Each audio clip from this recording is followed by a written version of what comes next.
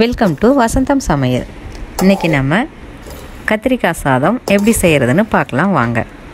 அதுக்கு முன்னாடி நம்ம சேனலை சப்ஸ்கிரைப் பண்ணாதவங்க சப்ஸ்கிரைப் பண்ணிக்கோங்க. வாங்க காரசாரமான கத்திரிக்காய் சாதம் செய்யலாம். அதுக்கு என்னென்ன தேவைன்னு பார்த்தீங்கன்னா இந்த மாதிரி கத்திரிக்காய் எடுத்திருக்கேன். இந்த கத்திரிக்காய் வந்து எந்த வெரைட்டி கிடைச்சாலும் எடுத்துக்கோங்க.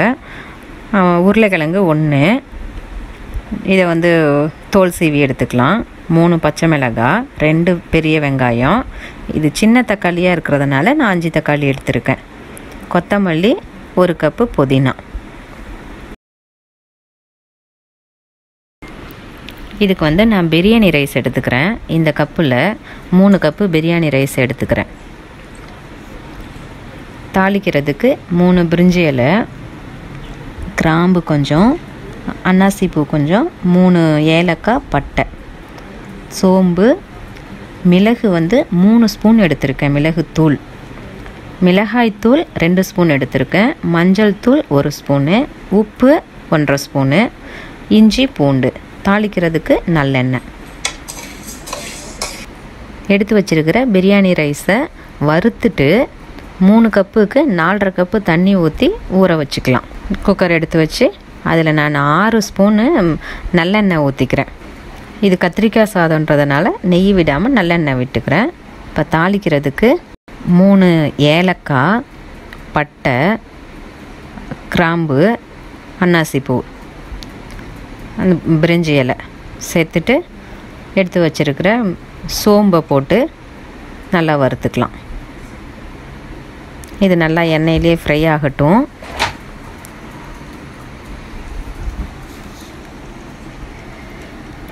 நல்லா ஃப்ரை ஆனதுக்கப்புறம் பாருங்க. எண்ணெயில் ஃப்ரை ஆனால் தான் அதோட எசன்ஸ் எல்லாம் நல்லா நல்லா இறங்கும். வந்து வெட்டி வச்சிருக்கிற பச்சை மிளகாயை சேர்த்து வதக்கிக்கலாம். பச்சை மிளகாய் வதங்கினதுக்கப்புறம் வெட்டி வச்சிருக்கிற வெங்காயத்தை சேர்த்துக்கலாம். வெங்காயம் நல்லா பொன்னிறமாக வதங்கட்டும். வதங்கினதுக்கப்புறம் இந்த மாதிரி புதினா பறித்து வச்சுருக்கிற புதினா ஒரு கப்பை சேர்த்து வதக்கிக்கோங்க.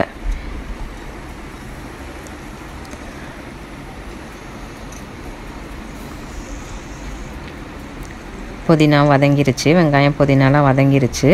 இப்போ இஞ்சி பூண்டு சேர்த்துக்கலாம். வெங்காயம் போட்டதுக்கப்புறம் தான் இஞ்சி பூண்டு பேஸ்ட்டு போடணும். நல்லா இஞ்சி பூண்டு பேஸ்ட்டு ஒரு ஒரு நிமிஷம் வதங்கட்டும். இப்போ தக்காளி சேர்த்துக்கலாம்.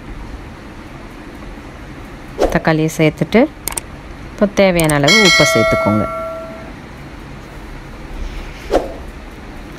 இப்போ நல்லா தக்காளி வதங்கட்டும். மிக்ஸ் பண்ணி விடுங்க. தக்காளி வதங்கி நல்லா அது தக்காளி ஃபுல்லாக வதங்கணும்.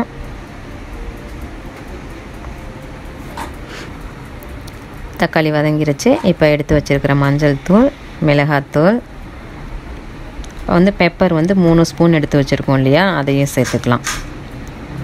இதில் வந்து காரம் பெப்பரோட காரம் போடுறேன். கத்திரிக்காய்க்கு நல்லா டேஸ்ட்டாக இருக்கும் நல்லாயிருக்கும் இப்போ வதங்கிருச்சு. இப்போ வதங்கினதுக்கப்புறம் இந்த இந்த மாதிரி கத்திரிக்காயை இப்படி நாளாக பொழந்து வச்சுக்கலாம். பாருங்கள் இந்த மாதிரி பொழந்து வச்சுக்கணும். இப்படி வச்சுட்டு இந்த கத்திரிக்காயோட கலர் மாறுற வரைக்கும் கத்திரிக்காய் உடஞ்சிராமல் நல்லா வதக்கி விடுங்க. அப்படியே அந்த கத்திரிக்காய் அந்த கலர் மாறுற வரைக்கும் வதக்குனா தான் இதோட காரம் அதில் இறங்கும். இப்போ அந்த ஒரு பொட்டேட்டோ வச்சுருந்தோம் இல்லையா அதை தோல் சீவிட்டு அதையும் சேர்த்துக்கிறேன்.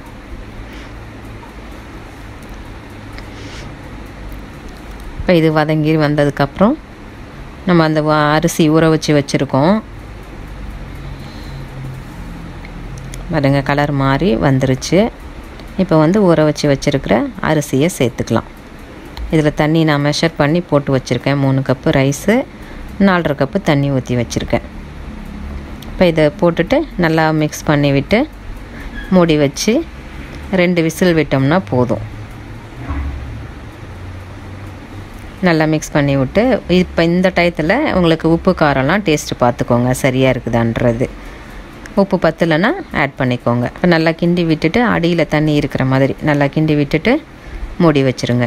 ரெண்டு விசில் வந்ததுக்கப்புறம் அந்த ப்ரெஷர் அடங்கினதுக்கப்புறமா விசில் எடுத்துட்டு ஓப்பன் பண்ணோன்னா உங்களுக்கு கரெக்டாக இருக்கும். இது வந்து நம்ம ஸ்கூலுக்கு பசங்களுக்கு லஞ்ச் பாக்ஸ் ரெசிபியாக செஞ்சு கொடுக்கலாம். அவங்களுக்கு ட்ரையாக டேஸ்ட்டாகவும் இருக்கும் ட்ரையாகவும் இருக்கும். கெட்டு போகாமலும் இருக்கும் சீக்கிரம். காய்கறி சேர்த்த மாதிரியும் இருக்கும். பசங்களுக்கும் பிடிக்கும். நீங்களும் இது மாதிரி பசங்களுக்கு லஞ்ச் பாக்ஸுக்கு செஞ்சு கொடுங்க. பாருங்கள் இப்போ விசில் வந்துருச்சு. ஓப்பன் பண்ணிட்டோம். எப்படி இருக்குன்னு? ரைஸ் நல்லா உதிரியாக வந்திருக்கு. நல்லா கத்திரிக்காயும் குழஞ்சி வெந்திருக்கு. இதை கத்திரிக்காயை வந்து முழுசாக போட்டதுனால அப்படியே தெரியுது. இதை ஃபுல்லாக கட் பண்ணி போட்டிருந்தீங்கன்னா எல்லாம் குழஞ்சிருக்கும். இதை நம்ம இதுலேயே கிண்டாமல் ஒரு அகலமான பாத்திரத்தில் கொட்டிக்கலாம். இப்போ இந்த மாதிரி அகலமான இதில் கொட்டிட்டு கிண்டும்போது கரண்டியை சைடில் விட்டு கிண்டி எடுத்திங்கன்னா நல்லா மிக்ஸ் ஆகும். இல்லைன்னா பிரியாணியில் வந்து மேலே உள்ளது ஒரு டேஸ்ட்டாகவும் அடியில் உள்ளது ஒரு டேஸ்ட்டாகவும் இருக்கும். இப்போ காரசாரமான சுவையான கத்திரிக்காய் சாதம் ரெடி ஆயிருச்சு. இது மேலே கொத்தமல்லி தலையை தூவி சர்வ் பண்ணிக்கலாம். நீங்களும் செஞ்சு பாருங்கள் இது சூப்பராக இருக்கும். அதுவும் கத்திரிக்காய் பிடிச்சவங்களுக்கு ரொம்பவே இது சூப்பராக இருக்கும். கத்திரிக்காய் பிடிக்காதவங்க கூட இதை விரும்பி சாப்பிடுவாங்க. நீங்கள் ட்ரை பண்ணி பாருங்கள் எப்படி இருக்குதுன்னு கமெண்ட் பண்ணுங்கள் லைக் பண்ணுங்கள் ஷேர் பண்ணுங்கள் தவறாமல் சப்ஸ்கிரைப் பண்ணுங்கள் தேங்க்ஸ் ஃபார் வாட்சிங்